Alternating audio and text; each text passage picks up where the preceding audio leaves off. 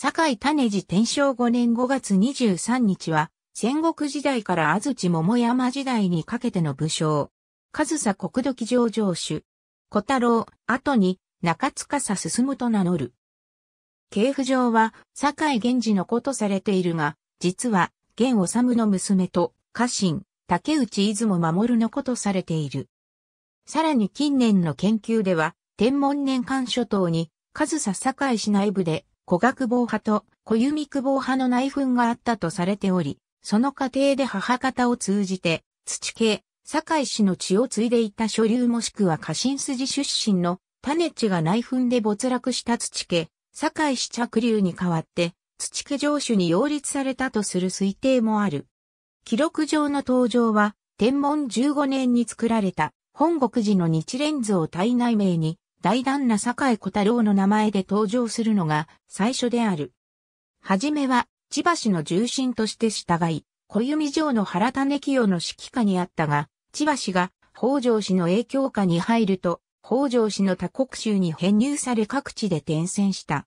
天文18年には、北条氏康から、上総国にの宮荘を与えられている。また、創生した長男、聖茂は、北条氏政からの返記を受けたと推定されている。その後、永禄4年の正木時持の侵攻に際して、東金堺氏は降伏したが、種地は最後まで北条氏への忠義を貫いた。なお、永禄2年には、東金堺氏ら一族、家臣を動員して、上総堺氏の祖とされる、堺清殿ゆかりの本教寺修造を行って、大旦那として胸札の筆頭に、堺中塚さ進む種字と記している。ところが、永禄7年の第二次河野大合戦の準備が、年始の急な出陣命令のために手間取っているうちに、北条氏康が、種地が出陣しないことに、不信感を抱き始めているという法を聞いた。種地はこれに反発。突如、里見氏に通じて離反し、敗走する里見義弘を救援した。このため、一転して、里見市の房総半島における最前線となった土家城には、毎年のように北条軍が攻め入るようになった。種地は、上杉謙信や里見義弘の支援を受けながら、ことごとくこれを退けた。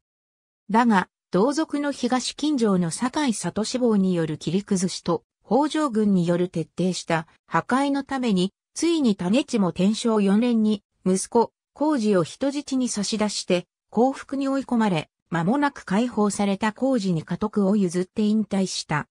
ただし、古文書においては、永禄11年の段階で、すでに工事が当主としての活動を行っており、同年の段階で、すでに引退に追い込まれていた可能性もある。戦国異文暴走編823号。戦国異文暴走編995号。ありがとうございます。